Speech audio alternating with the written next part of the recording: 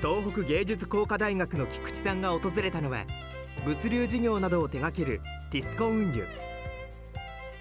まずは一般開放もしている社員食堂にお邪魔しました。この食堂でですね、えー、使用している食材は主にほとんどが私どものティスコファームから農場から送られてきた商品を使用しております。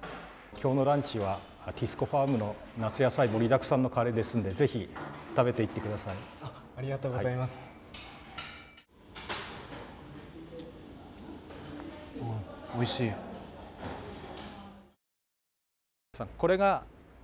えー、堆肥化する、えー、機械です。こちらをちょっと見てください。すごいでしょう。すごいですね、これここにですね、えー、食堂で、えー、出た切れ端とかですね食材の残り物とかを、えー、ここの機械に入れます。そして24時間経つとこのよった堆肥化になって出来上がるわけです、はい、でこれをティスコファームにトラックで運んでまた新しい、えー、作物を作ります。サイクルがすごいしっかりしてますね。はい。この機械のおかげです。すごいですね、はい、運送会社ならではの、環境に配慮する取り組みをですねできるところから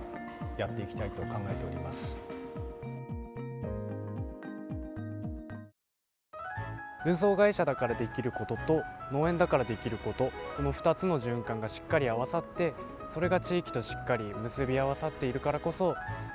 多くの人から愛される食堂になっているんだなということを感じました。